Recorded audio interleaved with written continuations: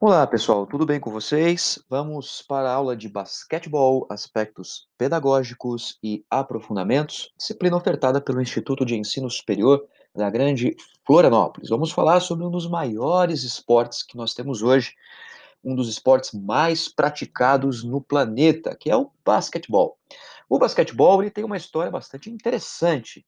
Né? Primeiro, que esse esporte ele foi criado por um profissional de educação física. Né? Além disso, existe uma história muito interessante com outros esportes também. Né? O basquete ele foi criado por uma questão é, climática, digamos assim. Tá? O esporte ele foi desenvolvido, foi criado em 1891 na atual Universidade Springfield, localizada nos Estados Unidos, em Massachusetts. Na época era chamado de Associação Cristã de Moços. Nessa época, em 1891, havia aula de educação física lá para os universitários, né? Só que nos Estados Unidos, principalmente nessa região, os invernos eram muito rigorosos, muito frio, o que impedia as práticas ao ar livre, né, por uma série de fatores. Então, as práticas ficavam muito restritas a ambiente fechado. Só que nesse ambiente fechado, só existia a possibilidade de fazer a ginástica, basicamente movimentos calistênicos, que eram considerados muito monótonos para a grande maioria dos alunos.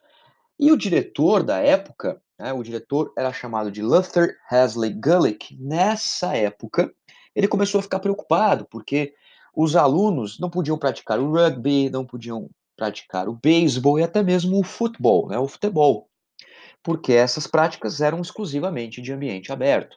Então, ele chamou um professor de educação física para que pudesse bolar uma estratégia para que as aulas de educação física fossem motivantes em ambientes fechados, que fosse uma prática esportiva, uma prática física que não tivesse muito contatos, que não promovesse a violência.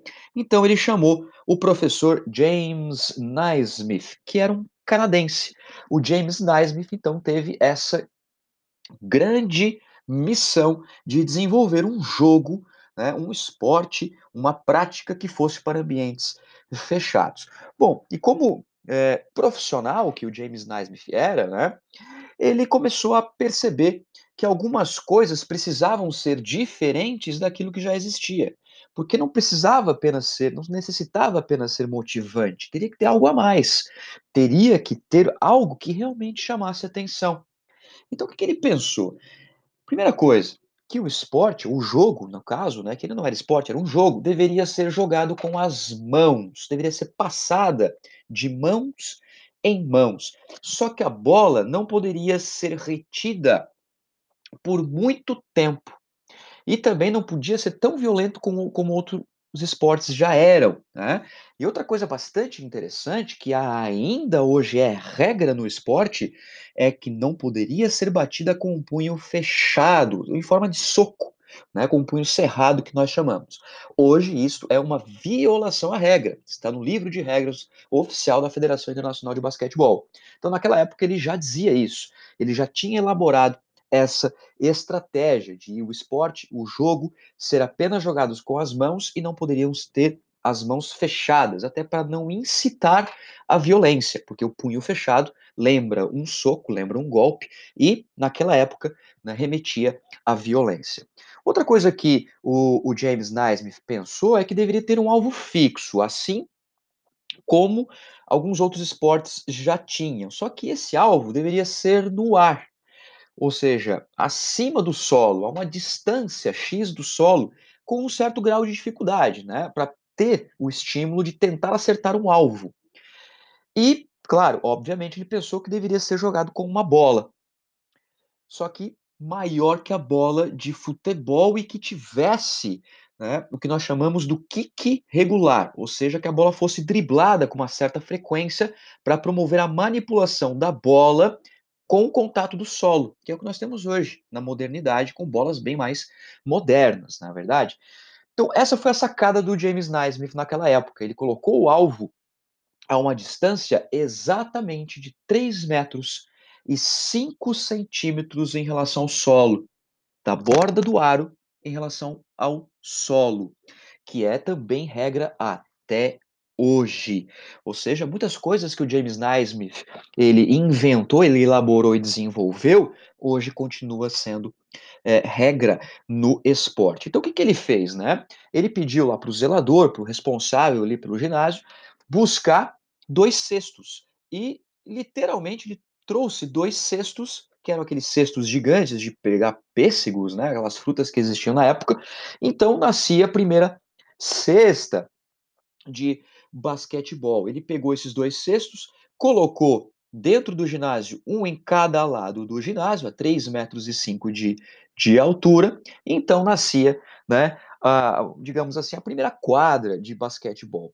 Então o que, que ele fez? Né? Ele elaborou as regras, como bom profissional de educação física, faz primeiro as regras, né, antes de jogar. Então ele elaborou aí cerca de 13 itens, é, dentro de um contexto geral, itens até simples de entender, né? colocou na, no ginásio para que todos que estavam lá, eram 18 meninos que tinham na época, 18 rapazes que tinham é, neste dia, para poder explicar as regras e então começar esse jogo, né? Ou seja, pegou dois capitães, que até hoje existem esses capitães, para separar as duas equipes. Ele foi ao centro da quadra, levantou a bola, que hoje também é regra, o jogo começa com a bola ao alto, com o árbitro principal da partida vindo ao centro da quadra, jogando a bola ao alto, para que os dois oponentes, né, no, no bola ao alto, consiga dar um tapa na bola para que o jogo comece. E a partir de então nós temos o primeiro jogo de basquetebol. Só que a história nos conta, os livros nos contam que Naismith e os rapazes da época não tiveram a preocupação de registrar esse dia. Mas tem na história que isso aconteceu em dezembro de 1891, muito próximo ao Natal, pouco antes do Natal. Essa é a história que é contada na literatura. Bom, a partir disso, então, né, o basquete ele se tornou é, bastante expressivo nos Estados Unidos, que até hoje é um dos esportes mais praticados nos Estados Unidos, e também ele passou para outros continentes, para outros países, como por exemplo o Brasil.